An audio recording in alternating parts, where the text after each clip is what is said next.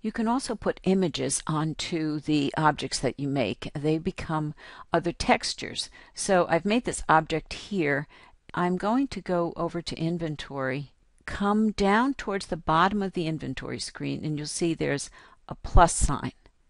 When I click that, I have the option of uploading.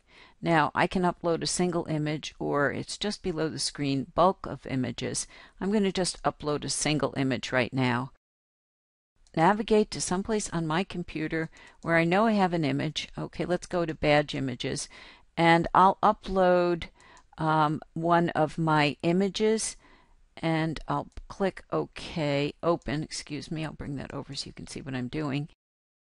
The image comes up inside Second Life. I can change the name at this point.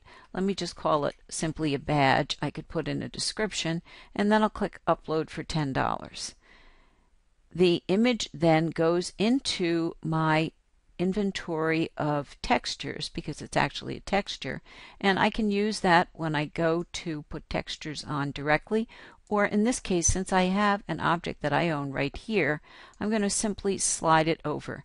And there goes the texture of a badge that I just created and it's now sitting on a cube that I created previously and that I made skinny so that it kind of works as um, uh, a poster display.